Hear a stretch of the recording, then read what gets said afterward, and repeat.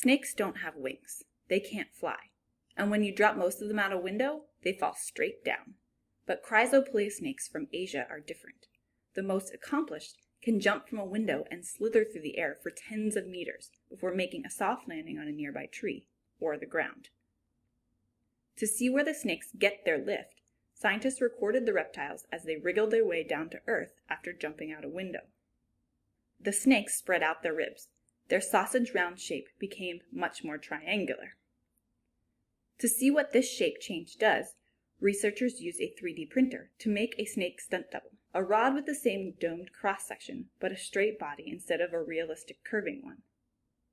Watching water move over the rod at various speeds and angles showed that, contrary to intuition, the dome shape could generate much of the lift a gliding snake needs to glide. But the researchers aren't done.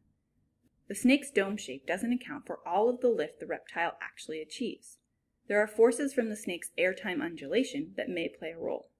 It could even be that the animal's whipping motion provides some sort of self-induced draft. Looks like it's back to the friendly skies for the scientists and the snakes.